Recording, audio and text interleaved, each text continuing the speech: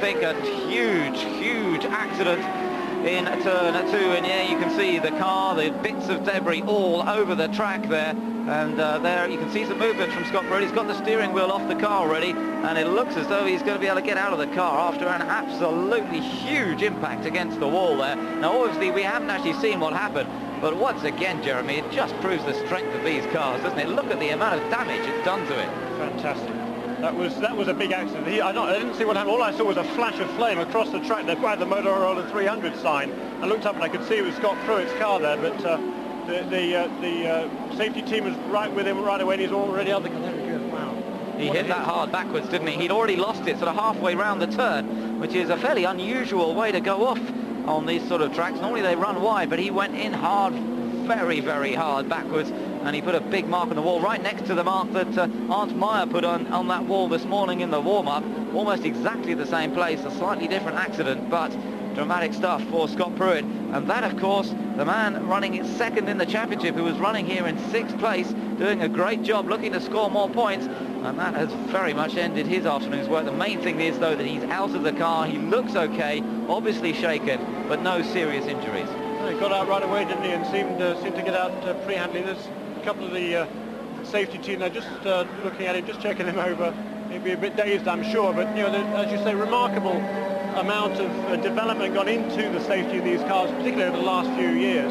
That's a Reynard chassis, of course, built in Bicester in England, and uh, there's a lot of safety material around the driver's helmet to protect the helmet in, in, in the, this sort of an impact.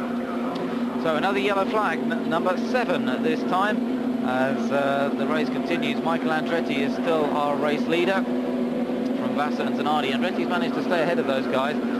There you can see him behind the pace car. Yeah, in actual fact, he was running extremely well before before this caution. He was running 25.9 pretty consistent. That's probably faster he's been most of the day. And uh, he was hanging on the lead pretty well there. still praying for rain, of course. Uh, able to run a good pace there, Michael Andretti, out in the front of the field. I think we're a little bit surprised by that, uh, given that he was appeared to be struggling early on in the race. There, there you can see Scott Pruett just walking away, helmet off, and uh, looking a little bit dazed but looking okay and that's the important thing as the car safety team now can go to work and clear up the mess on the track.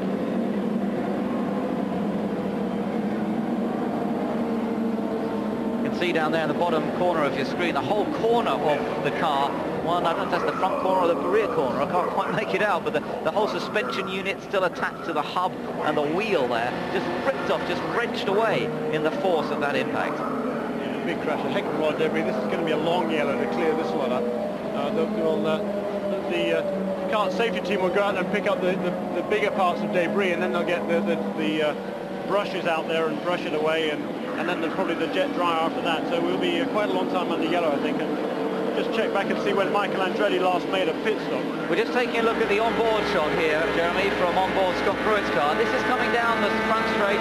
He's coming into turn one. It's halfway through the next corner that it goes wrong. He's quite close to another car, gets in the slipstream a little bit, and then it just swaps ends and bang into the wall, and black goes the picture as the end of Scott Pruett. In fact, the picture coming back, the camera surviving that, which is pretty remarkable. But uh, that just shows you when it goes wrong on an oval, it goes wrong very, very quickly indeed. And there, the impact into the wall and the flame out that you caught a glimpse of out of the window. I couldn't, uh, I wasn't spotting that, just looking at the computer at the time. But uh, a very, very big accident indeed. But Scott Pruett lives to fight another day and uh, carry on the battle in the championship. But today, he's not going to score any more points. No, shame for Scott Pruett. He's really had a good season up until now. That'll give his uh, confidence a bit of a, bit of a, a, bash. Of course, Scott Pruett had a horrible accident in uh, in '89 testing with, when he was with the Budweiser Truesports team down in uh, Florida. Brake failure there caused that. Was on a road course and uh, a lot of injuries there for Scott Pruett. He's done well to come back from that. And uh, the good news is he seems to be fine here this afternoon. Yes, that is excellent news. And I'm just wondering, I mean, we know this is a hard track physically, and I suppose we're getting into that point of the race where that's beginning to tell a little bit. Not that I'm saying that was any cause of the problem for Scott Pruett. But as we go through this race, we could well see the drivers get making little mistakes, just running wide in a few places. It is tough on them. So that's going to be part and parcel of the remaining part of this race. Just under 100 laps still to go as Andretti leads. Back and the car of Scott Pruett is being towed away after that dramatic accident, but Scott, okay, he's off to the medical centre to be checked up, but uh, all look to be in reasonably good shape as he uh, stepped into the ambulance, so that's good news. Just to let you know, we've just seen Raul Boesel come out of the pits. He's uh, without a nose cone, so he's obviously trying to stay on the lead lap, so he's come back out. He's followed around the pace car for a moment, and then we'll see him come back in again. But there was obviously something that's happened to Boesel as well. So both of the Brahma sports cars in trouble at much the same time, although obviously not quite so bad for Boesel as it was for Pruett. You're watching Michael Andretti at the moment, and as you mentioned, Jeremy, before that yellow, he was actually running quite competitively, surprisingly competitively, judging by what he'd been doing earlier in the race. And in terms of pit stop strategies, he's not too far off the pace at the moment. No, it's not. The previous, a couple of cautions ago, I think it was when Bobby Rahal had his problem, uh, Michael came into the pits. So That was on lap 109. We've just completed 150 laps, so he's done 41 laps since he's made a pit stop, but the vast majority of that, due to the rain, due to Rahal's accident, now the accident, oh, sorry, the Rahal's fire, and now the accident involving Scott Pruett, most of that has been under caution, so you really won't have used up too much fuel. You'll be able to go quite a bit more before he needs to come in for a pit stop. There's further surgery there for the Brahma sports car of uh, Raul Boesel. Doesn't it look odd without the nose cone? But there it is. It's, uh, the nose cone's now being bolted on the front. And again, he came out just to stay on the lead lap, follow the pace car around, then he can get back in again, have the nose cone fitted, and hopefully get back out without losing a lap. That's the uh, that's the idea between behind coming into the pits a couple of times, and that's the chance that this form of racing gives you. And if you can just stay on the lead lap, in fact, he's quite a way off it because of his problems earlier but he's just trying not to drop even further down the order. He's already some five laps down behind the leaders, so in a way it's surprising that they're that worried about it, but you never know. At the end of the race, he may still be able to pick up some points. Yeah, and yeah, I think perhaps he, we, we, didn't, we don't really know what happened to him earlier on when, uh, when he went out, he had his problem the same time as, uh, as Bryan Herta. I don't know whether he had a spin trying to avoid Herta or something, it's hard to say, but perhaps he damaged the nose then, and he's been soldiering on since, and now's an opportunity to come, come in and make a change. Conjecture, of course, otherwise maybe could be that he ran over some debris there from his teammates' teammates accident. So good chance to make the change for Raul Boesel. Well, no great changes in the order at the moment. We're still under yellow here. Welcome back to Gateway as we continue this race. 155 laps are completed out of the 236.81 still to go.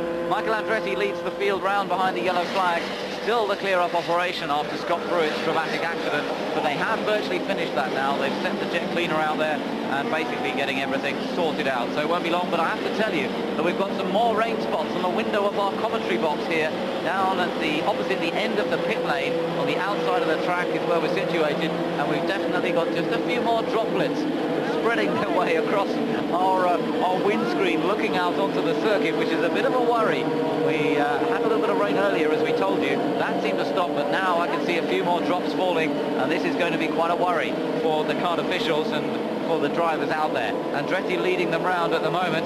Vasser is second, Zanardi is third, Greg Moore in fourth place, Gugelmin fifth, Paul Tracy sixth, then Parker Johnstone, Alonso Jr. is lying in eighth place at the moment, Gilles de Ferran in ninth. Just wondered if we get a view from the onboard camera. We just got one spot then of uh, the rain. Let's take another look. You can see on Vasser's car a few little droplets.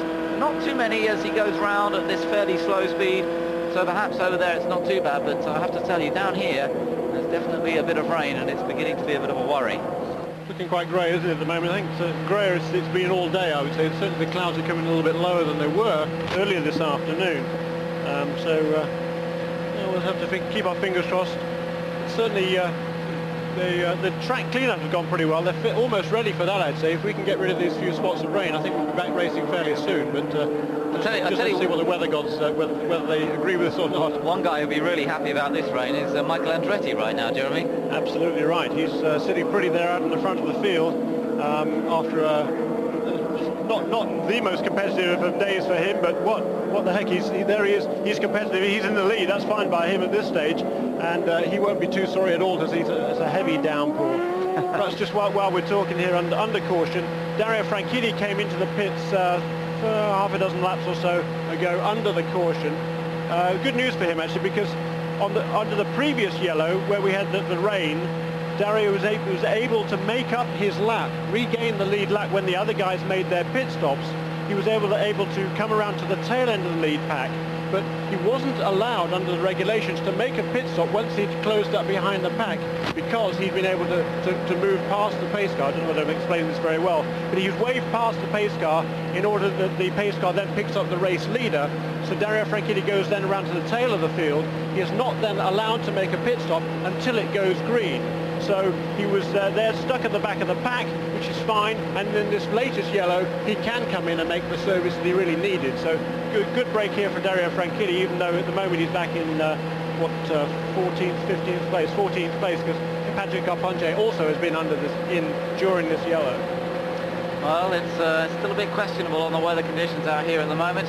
Still just a little bit of rain around, not really hard enough for any decisions to be made as yet as to what CART will do as we wait for progress to be made. Michael Andretti still leading them round.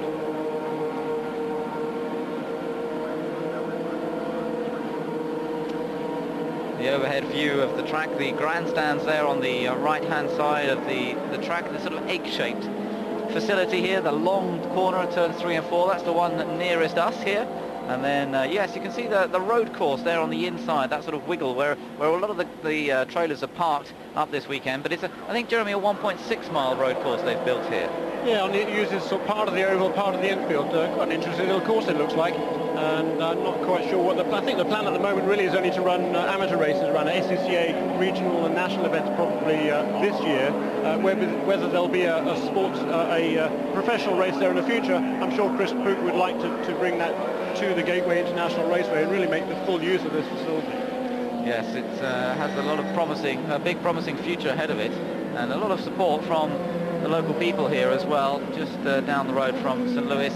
And that means that a good crowd can get here very, very easily as well, which is exactly what they want. That's why Chris Pook developed this particular site. And in the future, he'll look to increase the capacity, as he told us yesterday, building up the capacity, perhaps even to as many as 100,000 seats in the future the 16th largest market, they're saying, in the United States. So uh, pretty significant uh, fan base here. And certainly there's a lot of interest in motor racing in this part of the world, in the Midwest. And major cities, Indianapolis, Chicago, not too far away.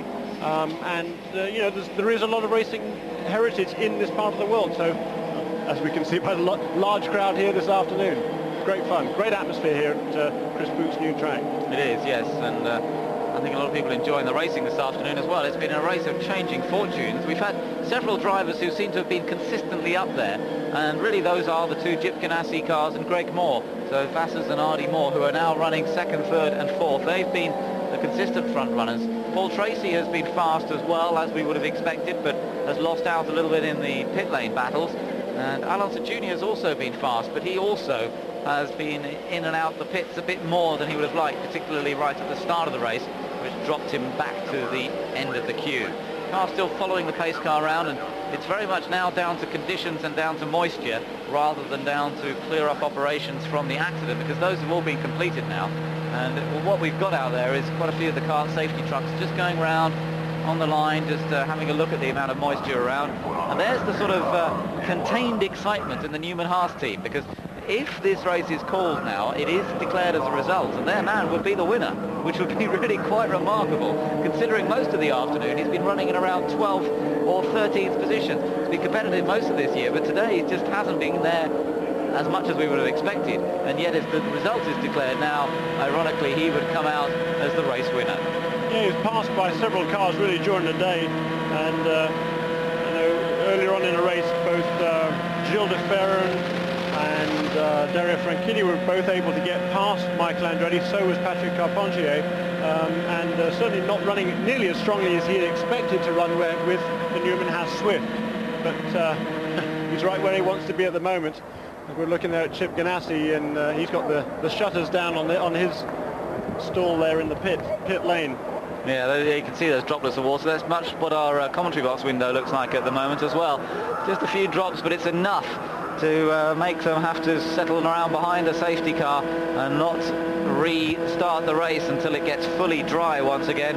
They might have wet tyres and be able to use them on the road courses and on the street tracks, but wet weather racing on the ovals is something they just don't do. It's uh, just be far too dangerous to even consider that on a short oval, particularly like this. Speeds, don't forget, they're getting up to 200 miles an hour around here in the dry conditions, and uh, it just isn't on to run these cars in the wet. So they've just got to follow that pace car around, be patient, and down in the pit lane there, the guys in the pits have also got to be patient. It's a frustrating time for everybody, but it just has to be gone through. Yeah, it is. You're absolutely right. That's exactly the right word, frustration. I mean, the particular and the fans as well. Everybody is in the same boat here. It's only a few sprinkles, very, very light, But, you know, the CART official